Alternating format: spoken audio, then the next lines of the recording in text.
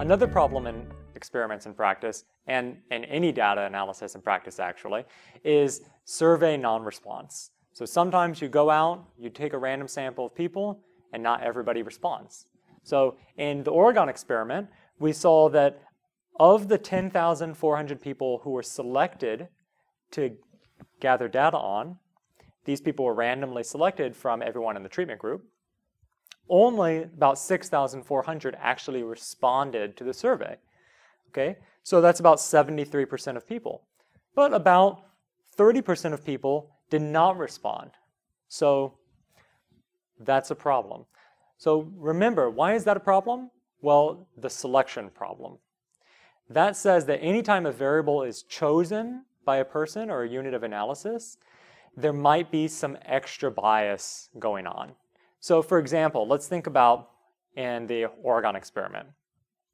Well, suppose that people in the control group, okay, randomly decide whether to respond to the survey or not. Okay? Then people who respond and people who don't respond are the same, basically. Okay? There's no there's nothing special about non-responders. But now suppose that in the treatment group, the people who don't respond are the ones whom Medicaid has the biggest effect. Okay? So they got Medicaid a year ago. This survey shows up in their mail, and they're just so happy. They're just really healthy. They're just like, oh, whatever, trash. But then the people who did respond, suppose that they're the ones who Medicaid did not help. And they've had a year of insurance and just their health is really bad and they're just not doing well. And the survey shows up in the mail. And they just see it and they're like, great, this is the time I can let people know that I am not happy.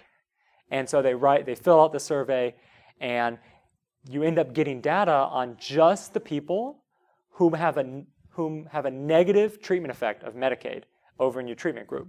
Okay? So then, if you go and you compute your average treatment effect, the average, say, cholesterol level in the treatment group versus the average cholesterol level in the control group, you're going to be comparing the averages for people who responded and for them, the treatment effect was negative. Those people all had a unit level causal effect that's negative. To people in the control group who randomly responded or not. So that's going to bias your estimate of the treatment effect downward. It's going to make Medicaid look bad because you're not picking up all the people who have a positive effect of Medicaid. Okay? So what this is saying is that when there's non-response, you have to worry about whether the two groups of people, the responders and the non-responders, are the same or not. And if they're not the same, then any treatment effects you calculate are only going to be valid for the responders. It's not going to tell you anything about what the non-responders are like. So in the next module, we'll talk about some ways that people look um, try to dealing with this in practice.